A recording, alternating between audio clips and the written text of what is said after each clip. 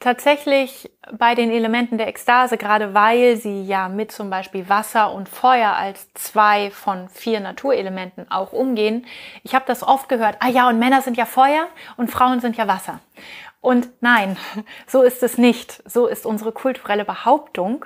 Und so ist auch in einigen taoistischen und tantrischen Traditionen eine Form von Zuschreibung. Ähm, trotzdem ist es viel zu vereinfacht, dieses ganz duale, ganz polare Männer, Feuer, Frauen, Wasser jetzt irgendwie gleichzuschalten mit Elementen der Ekstase? Definitiv nicht. Die Elemente der Ekstase sind wirklich ein sehr viel reicheres Spektrum und ich arbeite ja auch seit, seit Jahrzehnten mit Menschen zum Thema Sex und kann sagen, sehr, sehr, sehr viel mehr Menschen fühlen sich von dem, wie ist männliche Sexualität und wie ist weibliche Sexualität gestresst statt bereichert. Darüber sprechen wir nicht. Weil wenn du sagst, ja, also das ist ja irgendwie auch total weiblich, wenn man sich dabei mit seinen Gefühlen verbindet. Fünf Prozent aller Frauen atmen auf, wenn man das ihnen sagt. 95 Prozent sagen einfach nur nichts dagegen, wenn man ihnen das sagt und denken, mm, ich muss irgendwie mal mit meinen Brüsten und meinem Herzchakra irgendwie zurande kommen. Die müssen gar nichts.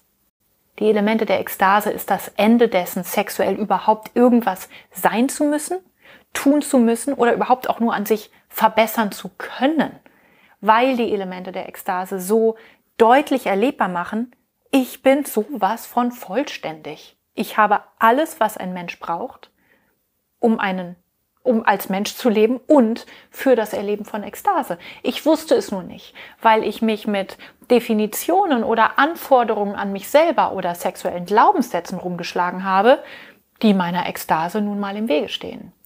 Und ich habe dann sogar erlebt, dass wenn ich dann diese verschiedenen Elemente und Flügelelemente aus den Elementen der Ekstase definiere und Menschen vorstelle, dass tatsächlich dann diese Konditionierung so ein bisschen rattert in den Köpfen. So dieses, ich als Frau so, ha, jetzt kommt das Wasserelement.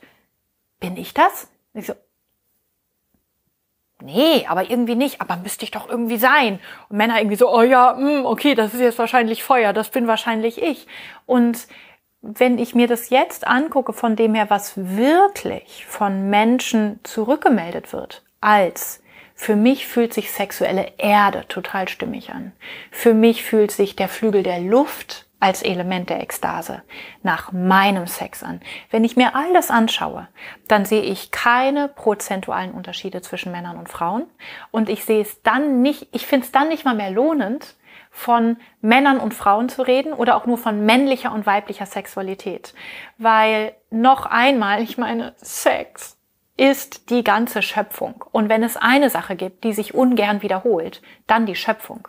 Wir Menschen, wir wiederholen uns gerne. Wir langweilen uns gerne. Wir erschaffen gerne Routinen. Wir kleben an den Konzepten, aber nicht der Sex.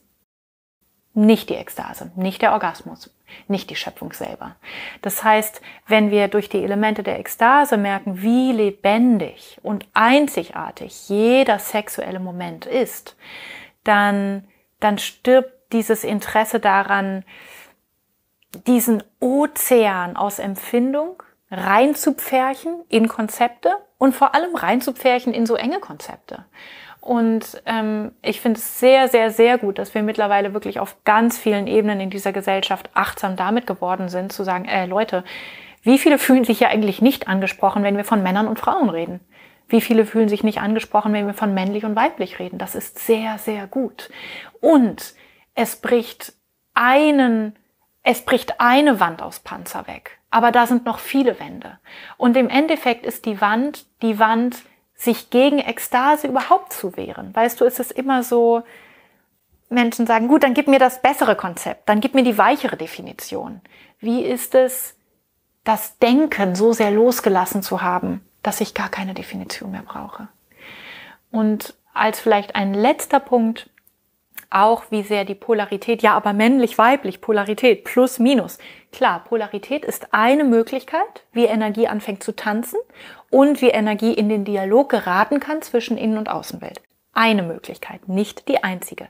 Wie sehr diese Plus-Minus, diese männlich-weiblich, diese Yin-Yang-Polarität genutzt wird oder überhaupt als sexueller Turn-on erlebt wird, ist von Element der Ekstase zu Element der Ekstase unterschiedlich. Für Feuermenschen zum Beispiel ist es relativ wichtig. Für Wassermenschen ist es relativ unwichtig.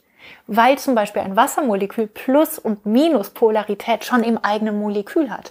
Und das sehen wir in dem, wie menschliche Wassersexualität gestrickt ist. Die kommen sehr, sehr gut in sich selber klar.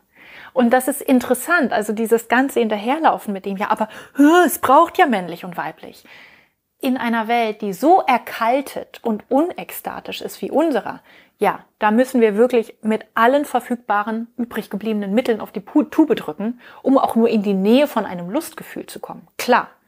Aber so sind wir nicht designt. Das haben wir in dieser Kultur aus uns machen lassen.